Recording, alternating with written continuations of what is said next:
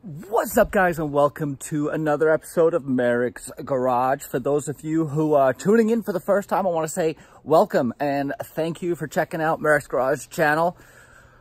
The truck in the back, is it finished? That's the number one question I've been getting recently from friends, family, neighbors.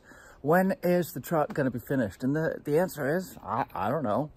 I don't know if it'll ever be finished.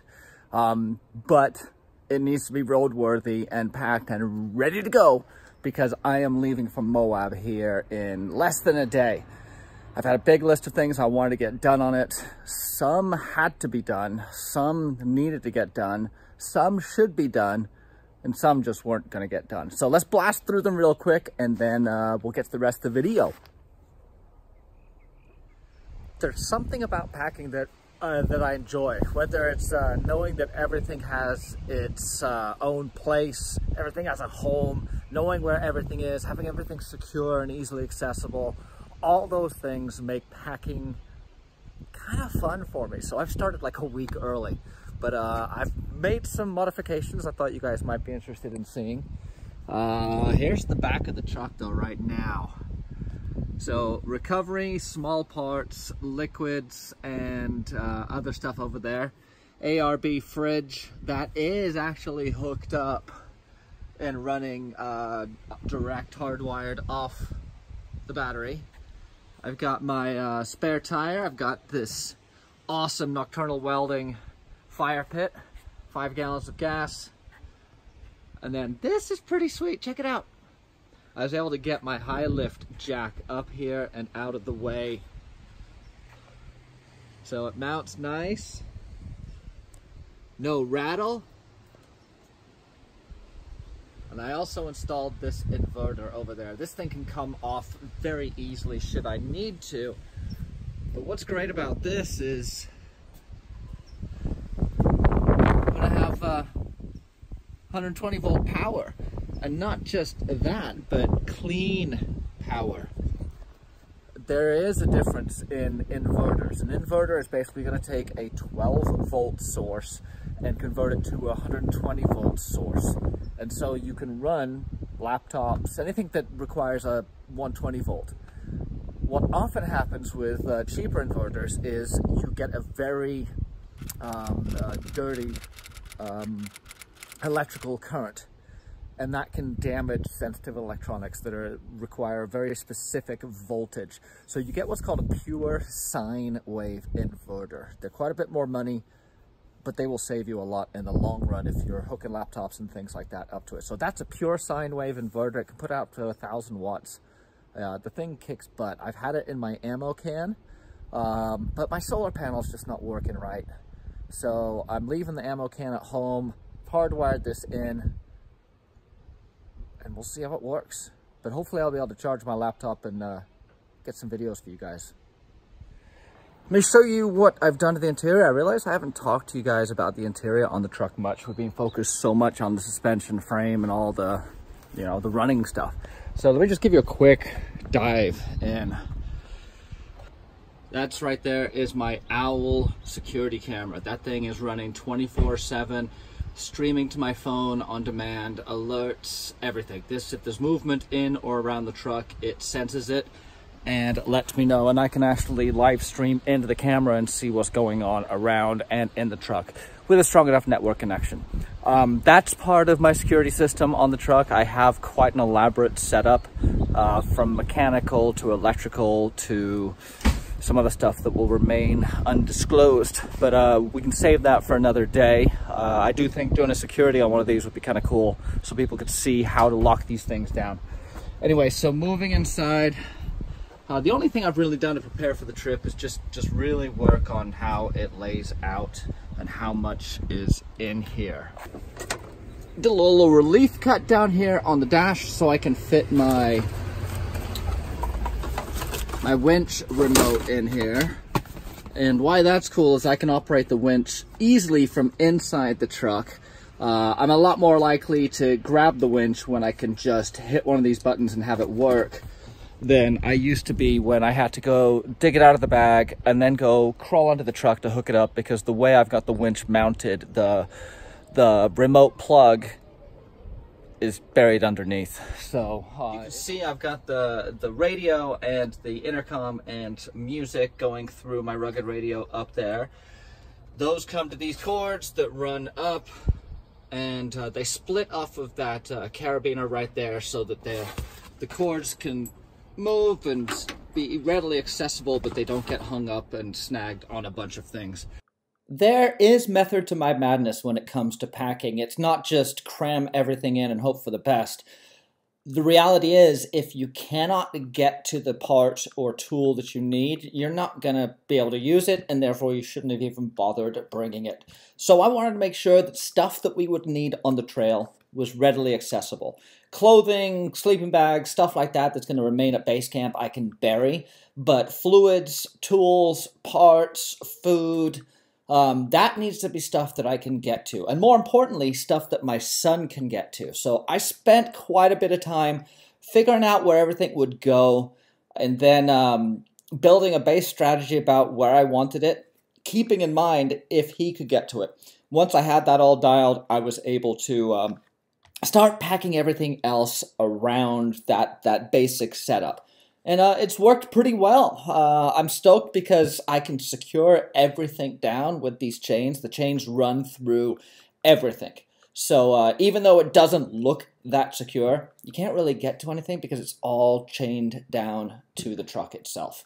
So uh, yeah, had the boys come out and help me do some stuff. They decided that wrestling on the yard would be more fun, but that's okay. It's packed.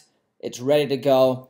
I just need to give my son a quick lesson on what his duties and responsibilities are going to be, because he has many. Is, it, is that nice? Yeah, it is. Yeah, let Jonah try it. Okay, and then Rye. You lay on my girl once again.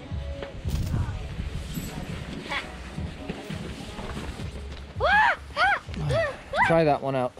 We're both gonna lay on that one too. Like, be honest. Like, which which one? I like this one better. Okay, that's what we're taking. Okay, you can put it down. I kind of fit, right? Yeah, kind of. Okay.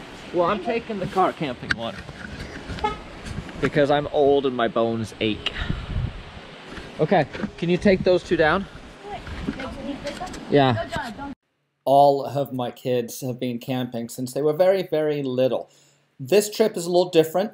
It's just going to be my oldest son and I getting out there, living out of the truck for a week, doing some cool four wheeling, exploring, and just having some really good father son time. I, I, can't tell you how excited I am about this trip. We're both a little nervous because there's a lot of unknown, but I'm taking that opportunity to um, just kind of teach him to embrace that uncertainty, to embrace that uh, unknown and drive towards it, because ultimately that's where adventure lies. By dividing and conquering and only bringing my oldest son. I'm hoping that some one-on-one time can teach him how to roll up an air mattress properly, how to break camp, how to make camp, uh, because when it's him and his brother, they usually end up just doing this the whole time we're camping, which is totally cool unless you're trying to clean up something. Okay. What do you think? Is this working? Yes. Okay, this is our, we're going for a little test run right now. Got the headsets locked and loaded, listening to some Mongolian death metal. Uh, yeah. Ready for Moab! Say something funny. Um, monkey sausages. That was pretty good. Monkey sausages. So you've got the rugged radios. This is our intercom. So this has two functions. That's power on. Am I going to be in charge of this? You, you may. I mean, I want you to know how to do some of this stuff. I'll I'll run this. I'll run this, but I want you to have an understanding of how it works and what it's for. So the radios are clipped behind us. You uh, once you get yours down, yeah. Uh, where was I? Okay, radios. So this is your volume, right? Yeah, volume. Yeah. So. Pretty sure if you go towards your face, it's like louder. Something like that. Yeah. One way's louder, one way's quieter. Okay. I don't want you blowing out your ears though. okay? Promise? So I'll have master control here, which I'll probably put pretty high, unless I can tell you've fallen asleep or something, and or something like that. I don't know. Um, then keep the mic, like I showed you, keep the mic close to your face, right?